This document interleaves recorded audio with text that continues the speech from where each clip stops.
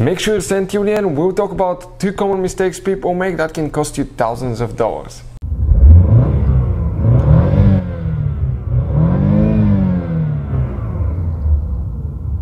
Hey guys, welcome back to Electrical Car Repair Live. Thank you guys for watching and subscribing to the channel. Today will be super helpful video to any of you having a Dodge Charger. If you have a Dodge Charger, you need to find the fuse for the USBs in the center console. You actually guys have two, uh, two fuses for those USBs. Stay with us. We'll explain where they're located. We'll explain about common mistakes people make when replacing fuses that can cost you thousands of dollars and why it's super important to test fuses. All that will be covered in this video today.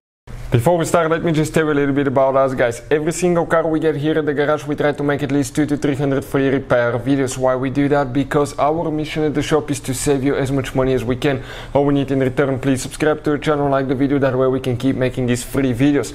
And if you guys want to buy any parts, tools for your Dodge or any vehicle, you want to get them at a good price, quick shipping, check out the link in the description of the video below. That's where we get all our tools and supplies from. So let's continue now. So that should work on V6, V8 specifically. We have the V6 engine here, guys, and uh, most people will check that fuse in that fuse box here, but it's actually not there, guys. It's at a different location. Uh, now, if your USBs still do not work, in some cases, guys, not very often, but we've seen it happen, you may need to use a scanner to reset the codes in your Dodge Charger and clear all the codes. Okay so this scanner okay let me just flip the mount here so it can stay. It's one of the best ones that we use guys here at the shop for that price. I'll put the link in the description of the video below and you can see where you can get it from. But it's amazing tool that can pay itself off in one time use. You can access every computer system read the lead code see live data and you can see it works on almost any car. So check it out if you need help with that uh, when you replace the fuse, you may need to reset the codes in some cases, not often, but it could happen. So let's explain where that hidden fuse is located now. So if you come guys here towards the back, you can see this is the cover. We have the cover for the tire here and uh, once you lift it up, you get to the spare tire and the car battery. Common mistakes people make. It's for some important fuses, it's important to disconnect the car battery. And if you don't, it can cause damage to the electrical systems. Number two, it really, it's really important which battery terminal you disconnect and reconnect first. If you do it the wrong way, you can burn modules, computers, electronics, and some of those cars have up to 50 computers, guys. Uh, we made that mistake and we burned an airbag computer on a Mercedes, so that cost us $2,000, guys. This is the fuse box that we will need. We're going to open it by pressing here and flip it that way. Now, that's where okay we need to give you another advice.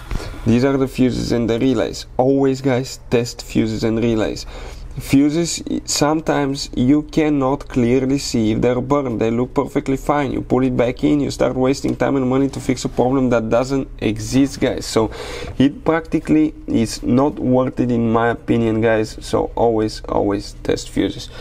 Where is the USB okay the first fuse you have two fuses guys.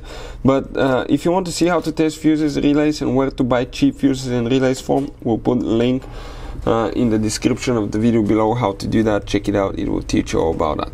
The first fuse that we need to check is that fuse number 12 that fuse right there okay? So this is the wrong type of fuse. It's supposed to be a different type of fuse somebody installed here obviously. I believe it's supposed to be the short type of fuse. So that's one fuse okay? Right there.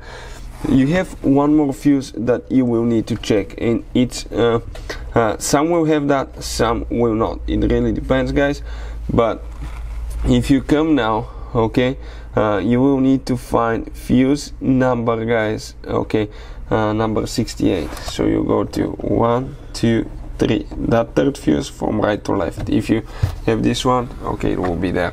These two fuses need to be checked. Hopefully the video will be helpful. Thank you for watching and see you guys next time